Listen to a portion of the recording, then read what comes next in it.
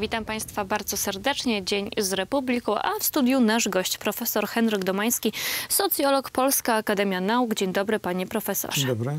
Panie profesorze, zanim zaczniemy naszą polityczną rozmowę o bieżącej polityce, zapraszam Państwa do udziału w naszej e, sądzie. Kto Twoim zdaniem zapewni bezpieczeństwo Polsce? Tak brzmi pytanie w naszej najnowszej sądzie. Zapraszam na portal telewizji Republika. Tam mogą Państwo oddawać głos. Kto Twoim zdaniem zapewni bezpieczeństwo Polsce? Tak brzmi pytanie w naszej najnowszej sądzie, w której mogą zagłosować Państwo dziś do godziny 16. Do wyboru są dwie odpowiedzi: rząd albo opozycja. Ciekawi jesteśmy tych, no właśnie, odpowiedzi. Zapytam pana profesora, czy mm, bezpieczeństwo inaczej pojmuje dzisiejsza Zjednoczona Prawica, a inaczej pojmowałby nowy rząd Donalda Tuska? Nowy rząd Donalda Tuska na pewno widziałby większe poczucie bezpieczeństwa w poprawie stosunków z Unią Europejską. Mimo, przynajmniej w takiej części deklaratywnej, mimo że to w gruncie rzeczy Unia Europejska nie e, dysponuje żadnym wojskiem, żadnym, e, e, żadną siłą obronną, tak jak na przykład NATO, ale poprawa stosunków z, z, Unią Europejską byłaby tym argumentem, z którym by jeszcze w dalszym ciągu, nawet po wygraniu wyborów, walczyła z PiSem i próbowała zdyskredytować Prawo i Sprawiedliwość. Pewnie pewnie w tym, no bo jeżeli chodzi o Stany Zjednoczone, to nasze stosunki aktualne są i tak bardzo dobre, zadziwiająco dobre, biorąc pod uwagę mm, prezydenturę Joe Bidena, w końcu demokraty, a nie republikanina. Bo właśnie nie wszyscy dawali takie e, opinie na początku, wygłaszali. Ta. Mówili, że to wręcz będzie katastrofa w tych relacjach. Więc e, opozycja z kolei złożona w końcu z polityków, którzy się znają i mają dosyć dobre rozpoznanie, jeżeli chodzi o te możliwości wspierania Polski czy obrony przed Rosją doskonale sobie zdają sprawę, są zaskoczeni trochę tymi dobrymi relacjami między Polską a Stanami Zjednoczonymi, więc tu trudno tu byłoby rywalizować i przekonywać Polaków, że oni to poprawili te stosunki po wygraniu wyborów, rzecz jasna, hipotetycznie. Y, więc y, myślę, że tutaj Unia Europejska byłaby głównym punktem odniesienia, bo trudno znaleźć jakiekolwiek inne, y, inną instytucję międzynarodową czy inne państwo. Nie Niemcy na pewno, które również nie dysponują żadną siłą zbrojną taką, która byłaby w stanie coś tutaj poprawić e, w sensie bezpieczeństwa, mm, nie mówiąc o, o potencjalnej zmianie stosunku Niemiec do, do Rosji, co pewnie by nie nastąpiło, bo niby dlaczego. No widzimy dzisiaj oczywiście poczynanie Rosji, to może o tę Rosję zapytam. Ukraina chce, aby e, wyrzucono, wręcz wykluczono Rosję z Rady Bezpieczeństwa ONZ. Będzie taka motywacja wewnętrzna? Motywacja wewnętrzna ze strony członków, członków Rady Bezpieczeństwa. Mhm. Nie będzie na, na pewno takiej motywacji wśród Chińczyków, ja sądzę. Tutaj należałoby się e, spodziewać e, sprzeciwu. Wydaje się, że w ogóle to jest nieprawdopodobne, żeby coś takiego przeprowadzić. Natomiast ważne jest to, żeby uświadomić, dlaczego Ukraińcy w ogóle to, o co im chodzi, prawda? Co chcieli w ten sposób osiągnąć, bo oni doskonale zdają sobie sprawę, że to jest prawie, że nie do przeprowadzenia nawet przy zastosowaniu jakiejś argumentacji mm, tego typu, że do Rady Bezpieczeństwa to przystępował ZSRR, a teraz mamy Rosję, więc można by jakąś taką argumentację prawną zastosować, ale wydaje się więc, że oni zdają sobie z tego doskonale sprawo, sprawę i chodziło tutaj raczej o takie działanie symboliczne, w sensie podkreślenia wagi tego problemu, że w gruncie rzeczy w ONZ, tej największej organizacji międzynarodowej, w kluczowym organie tego tej instytucji mamy do czynienia z krajem, który na to nie zasługuje.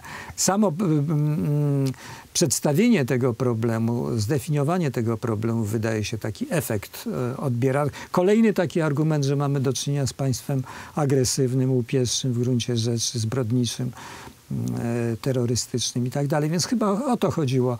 Głównie chodziło Ukraińcom i, i, i, raczej nie spodziewają się niczego innego. Panie profesorze, ale to zapytam, e, czytamy w ocenie amerykańskiego instytutu e, badającego oczywiście sytuację, prezydent chce negocjacji. Putin prowadzi kampanię, by Zachód wywierał presję na Ukrainę w sprawie ustępstw.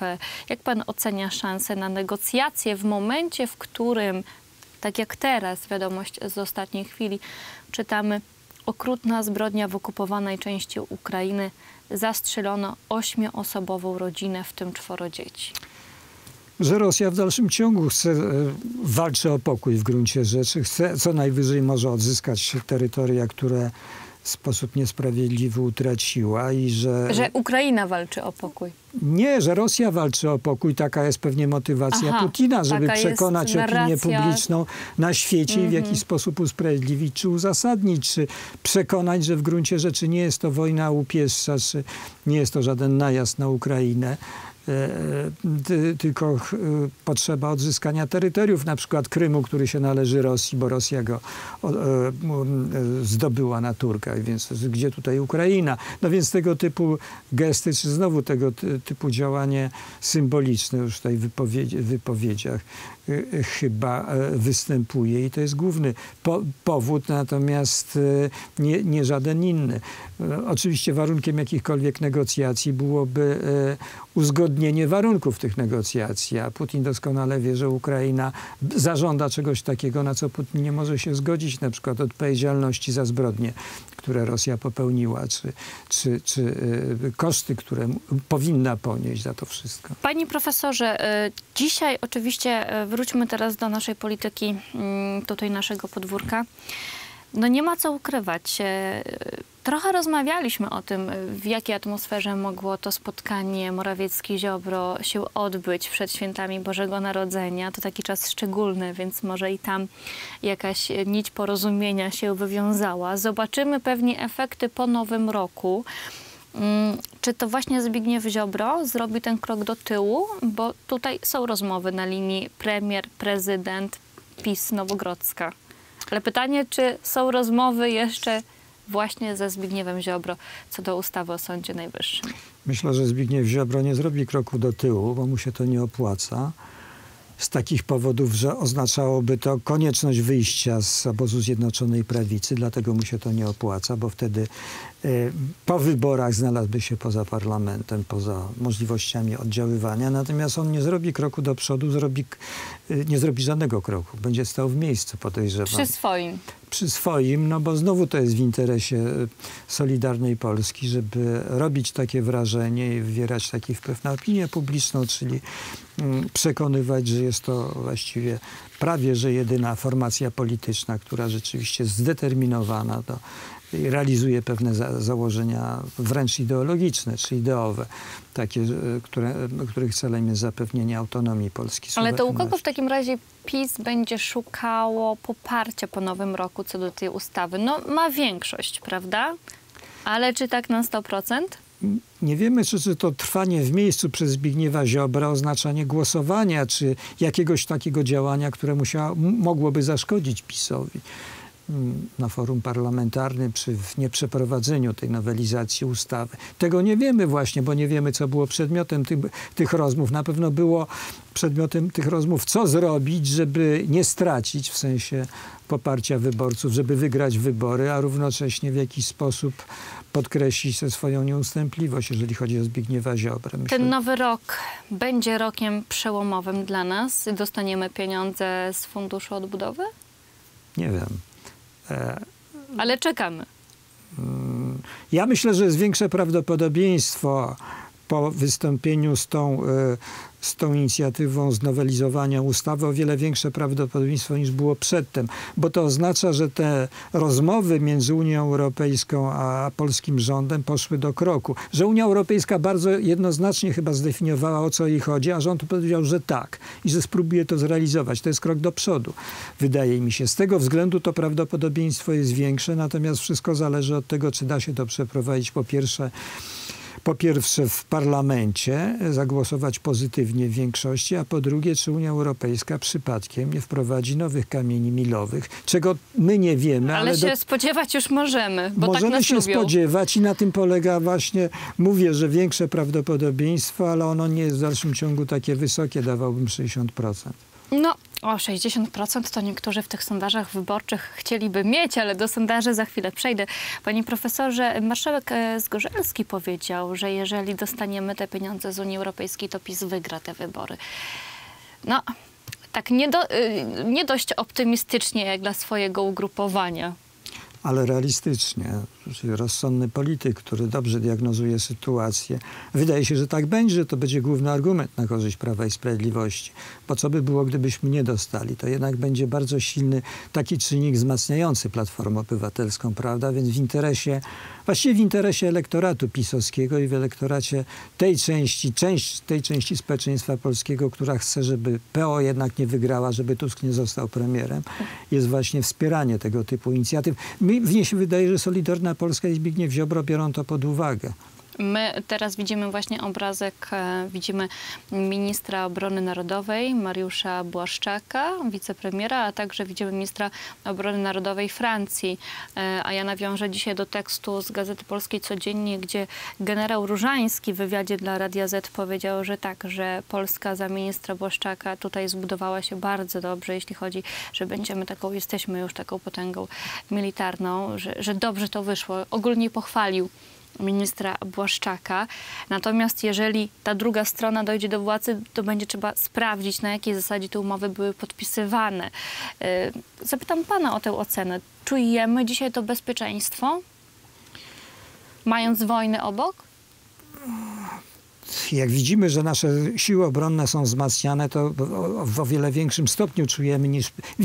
Widzimy te konkrety, prawda? Widzimy, co mm, e, e, ten sprzęt sprowadzany ze Stanów Zjednoczonych, te samoloty, te wyrzutnie rakietowe, w związku z tym widzimy, że coś się dzieje, te czołgi, te Hajmarsy. I dzisiaj kolejna umowa z Francją. Tak, i to e, chyba robi takie wrażenie, że rzeczywiście, gdyby Platforma Obywatelska rządziła, to byśmy tego nie mieli a przynajmniej nie w takim stopniu. Więc ja myślę, że to wzmacnia poczucie bezpieczeństwa i ta ocena międzynarodowa, mm, która prowadzi do wniosku, która idzie w tym kierunku, żeby podkreślać, że Polska staje się prawie, że w cudzysłowie trochę, mocarstwem w Europie, jeżeli chodzi o te możliwości militarne, możliwości obrony swojego terytorium. Panie profesorze, po nowym roku Jarosław Kaczyński wraca do intensywnej pracy, wraca do spotkań z wyborcami, będzie jeździł po Polsce, ale takie spotkania również prowadzi Donald Tusk i też jego kompanii, no nie ma co ukrywać. E, sondaż, e, najnowsze sondaże cały czas pokazują na podium Zjednoczoną Prawicę, no ale jednak ta koalicja obywatelska i Szymon Hołownia, Polska 2050, e, no tuż za nimi jest ta różnica, ale razem mogą być sporą siłą, czy nie?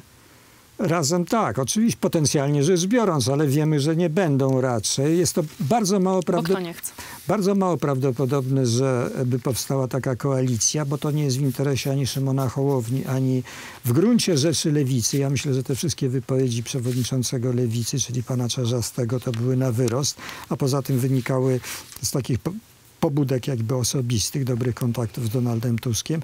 Nie jest to w ich interesie, a poza tym sytuacja e, nie doszła do tego jeszcze, żeby ci potencjalni koalicjanci, mam na myśli Lewicę, PSL i pana e, Hołownię, żeby doszli do wniosku, że warto się tak jednoczyć, że póki co... Oni się boją wchłonięcia przez Platformę? Pan Hołownia to na pewno się boi wchłonięcia, natomiast Lewica się rzeczywiście nie boi, natomiast zależy jej na podkreślaniu swojej niezależności. A poza tym, no, czego oni się boją, to się boją raczej Donalda Tuska w roli premiera. Na szczęście Donald Tusk, dla, myślę, że dla Zjednoczonej Prawicy, trwa na tym stanowisku i będzie się bronił, bo co ratowałoby e, Obywatelską, to zmiana pokoleniowa, czyli zastąpienie go Rafałem Trzaskowskim. Ostatni sondaż to pokazuje. Tak twierdzą wyborcy. No Ale właśnie, jak Donald dojdzie. Tusk mógł przyjąć ten sondaż? no na pewno bardzo negatywnie i będzie robił wszystko, żeby w jakiś sposób zneutralizować wyniki Z tego sondażu. Z uśmiechem na twarzy. Nie wiem, no nie, nie, nie, ja nie sądzę. Donald Tusk w ogóle się raczej nie uśmiecha, prawda? Jeżeli to robi, to tak jakoś zgryźliwie.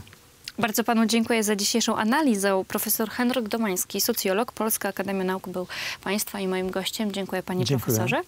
A ja państwu dziękuję za ten wspólny czas. Już za chwilę kolejna część programu Dzień z Republiką.